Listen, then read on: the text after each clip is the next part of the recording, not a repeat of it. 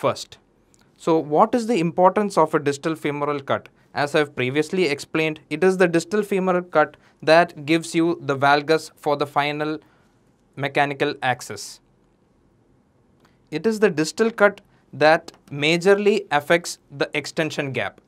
As the knee is in flexion, it is only the posterior cut that affects the flexion. The tibia has effect on both the extension as well as the flexion. But as we give some amount of slope to the tibia, that is the proximal tibia, that affects mainly the flexion. Because when you extend the knee, it is the anterior part of the tibia that comes in contact with the distal femur.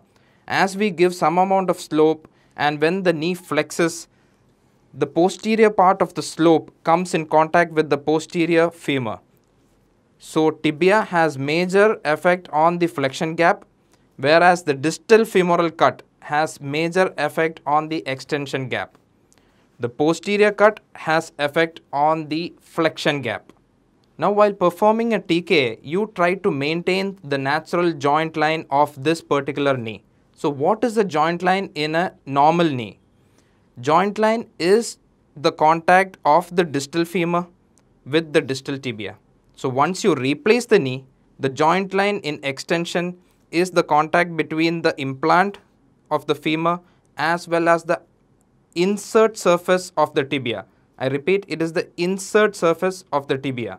So, in an extension, in a replaced knee, the distal femoral cut determines the position of the joint line.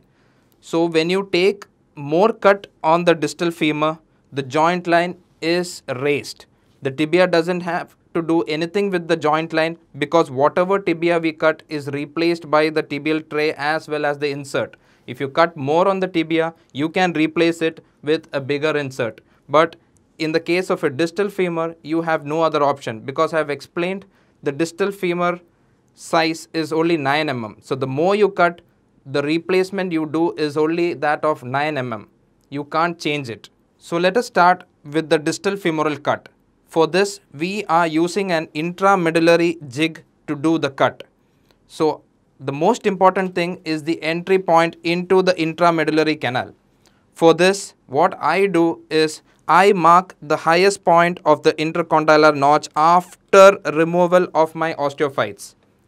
Then I mark, I find the trochlea and I mark the lowest portion of the trochlea.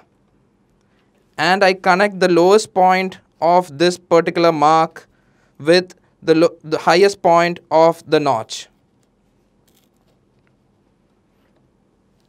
This particular line is in line with the PCL insertion and that too in particular the medial border of the PCL insertion. So that is also one point which surgeons use that is the PCL insertion. You mark the medial insertion and come almost around 6 millimeter above and try to make the entry point. Now what is the importance of this particular entry point? This entry point, if it is lateralized towards this side, your particular intramedullary rod goes in this particular direction and we have already fixed the valgus. So what happens is you will be giving an excessive valgus. Now if you take it more medially, you will be giving an excessive varus. So the entry point is of very importance in the mediolateral plane. Now what happens if you take it more anteriorly? In a TK, we attempt to give the knee its normal flexion. We don't want it to go into extension.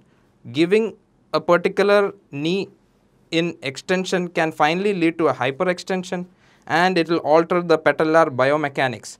So we don't want the entry point to go anterior nor posterior but exactly at the point which I have explained previously. So this is the intramedullary jig that we use for the femur distal cut. So I have already set it in 6 degree. You can see the mark between 5 and 7, 6 degrees. So this particular cutting block is always in 6 degree of valgus in corresponding to this particular rod.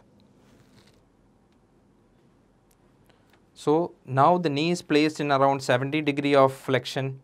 You have done your markings. So you're gonna make an entry point. So make sure that your entry point is on the medial side to this particular line and make sure that it just touches this line when you aim towards the intramedullary canal. So you take your drill, place it over here and direct it towards the GT so that you can make it fix. Make sure that you don't rotate this.